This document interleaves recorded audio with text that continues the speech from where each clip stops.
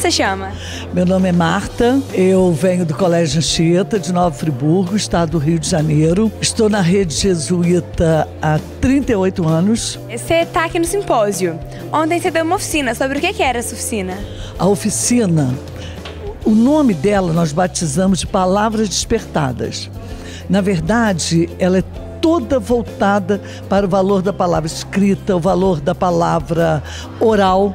Né? Dentro do Colégio Anchieta, ela faz parte de um laboratório de redação que vai desde o quarto ano do ensino fundamental à terceira série do ensino médio. Como você acha que o simpósio vai ser importante para os alunos da rede jesuíta de educação?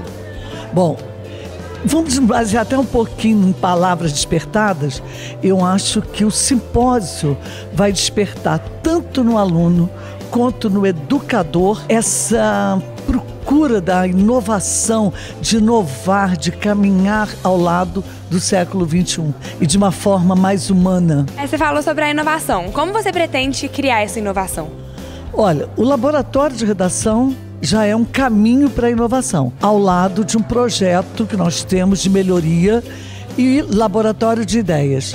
Né? Nós estamos juntando essas três propostas e elas estão caminhando para inovar na educação.